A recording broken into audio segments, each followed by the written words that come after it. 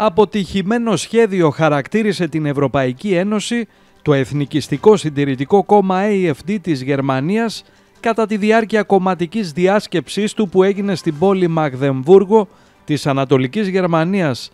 Ένα κείμενο που εγκρίθηκε από εκατοντάδες αντιπροσώπους του κόμματος στην εκδήλωση ανέφερε ότι το μπλοκ απέτυχε τελείως σε θέματα όπως το κλίμα και η μετανάστευση. Το κόμμα είπε επίσης ότι δεν υποστηρίζει το ευρώ ως νόμισμα.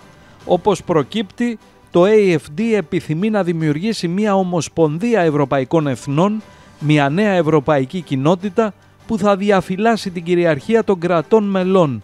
Η διάσκεψη του κόμματος το Σαββατοκύριακο είχε ως αποστολή την προετοιμασία ενός προγράμματος για τις εκλογές για το Ευρωπαϊκό Κοινοβούλιο του επόμενου έτους. Οι συζητήσεις του AFD σχετικά με τη στρατηγική τους στην Ευρωπαϊκή Ένωση έρχονται καθώς το αντιμεταναστευτικό κόμμα αυξάνει την υποστήριξη του γερμανικού πληθυσμού.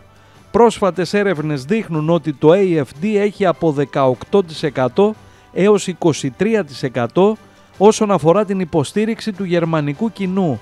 Ο Γερμανός καγκελάριος Όλαφ Σόλτς του κεντροαριστερού Σοσιαλδημοκρατικού Κόμματος SPD έχει μέχρι στιγμής εμφανιστεί αμέτωχος από την άνοδο του AFD αλλά με τη Γερμανία να διεξαγάγει εκλογές το 2025, ο σπασμωδικός κυβερνητικός συνασπισμός του Σόλτς θα μπορούσε να τεθεί σε κίνδυνο.